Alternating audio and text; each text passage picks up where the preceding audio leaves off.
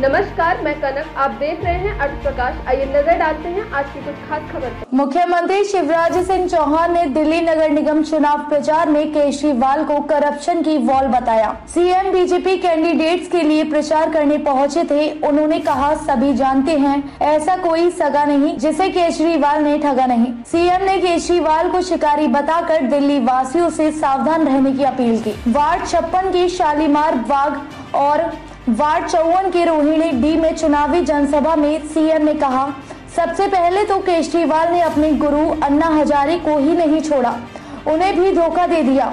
अरविंद केजरीवाल अपने गुरु को ही खा गए, बच्चों की झूठी कसम खा गए।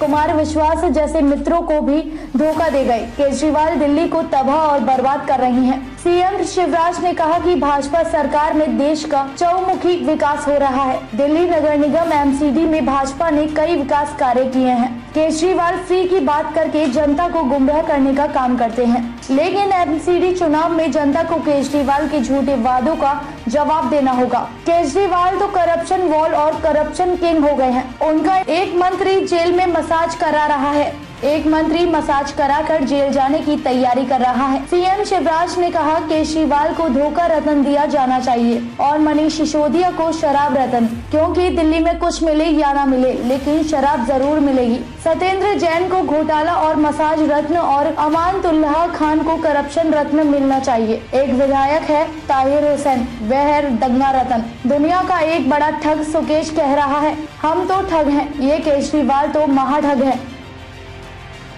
ताज़ा अपडेट्स व बड़ी खबरों के लिए सब्सक्राइब करें आज प्रकाश टीवी और बेल आइकन दबाना न भूलें।